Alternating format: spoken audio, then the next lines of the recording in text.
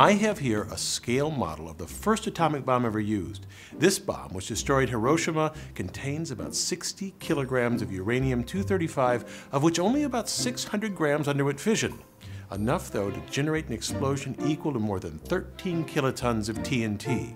The bomb's designers divided the amount needed into two pieces. At the tip, they placed about 40% of the necessary uranium. They loaded the remaining 60% at the other end. A conventional explosion drove the projectile into the target, initiating the nuclear explosion. Now, the exact details of this bomb remain classified because they could still be used. Although this design involves some brilliant innovation by engineers in the 20th century, the really difficult part is preparing the uranium.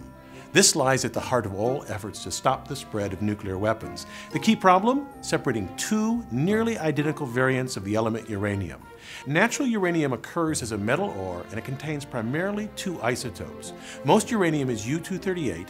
U-235, however, can easily sustain a chain reaction that releases tremendous energy, whereas the more common U-238 will not. Most elements are stable, so that when bombarded with neutrons, they simply absorb them and decay later, or they require very high energy neutrons, but bombarding U-235 with low energy neutrons causes its nucleus to split. The emission of these extra neutrons allows the initial fission to generate a chain reaction. So, how do we go about enriching the U-235 in natural uranium? When we separate two items, we make use of their differences. The two major uranium isotopes have identical magnetic and chemical properties. No magnet will tug on one more than the other, no solvent will wash away only one isotope, and neither will boil before the other. So to separate them, engineers exploit the one small difference between them. U-235 weighs slightly less than U-238. Less than a 2% difference, just enough to make separation possible, but not easy. That tiny weight difference means that the two isotopes will move at slightly different speeds when exposed to an equal force. To enrich uranium for the first atomic bomb, engineers built immense gaseous diffusion plants that capitalized on the differing speeds. A gas containing uranium flows through miles of piping in a kind of race where the lighter U-235 wins out. The gas flows through a tube encased in a chamber. A pressure difference between the chamber and the tube causes more of the U-235 to pass through perforations in the tube's wall.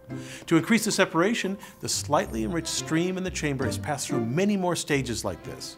To enrich 3% U-235 to 90% takes nearly 4,000 stages. Enriching the uranium for the first atomic bomb required a diffusion plant that covered over 40 acres. It housed a maze of 100 miles of piping. These diffusion plants use great amounts of energy to run compressors generating the pressures needed, and the energy to heat gas flowing through the miles of tubing. Another method of separation exploits the small mass difference by using a centrifuge. A typical device consists of a stationary outer cylinder and an inner rotor that spins. A gaseous mixture of the two isotopes flows up a tube along the central axis, filling the rotor. As it spins rapidly, more of the U-238 is thrown out to the edge than the lighter U-235, which stays closer to the middle. The enriched stream can be removed from the rotor and sent to another centrifuge to be separated even more. The amount of separation is exaggerated here. In an actual centrifuge, the amount of enrichment is a fraction of a percent, so a typical plant might have 60,000 centrifuges to enrich natural uranium to 30% U-235. Such a plant uses 4% the energy of a gaseous diffusion plant. Even though this is a much more efficient process, the precision that the rotors need to be manufactured with makes them very difficult to engineer. The smallest defect, and the rotor spins itself to pieces. That's lucky for us, otherwise we might have nuclear devices right next to our microwave ovens. I'm Bill Hammack, the Engineer Guy. This video is based on a chapter in the book, Eight Amazing Engineering Stories. The chapter features more information about this subject. Learn more about the book at the address below.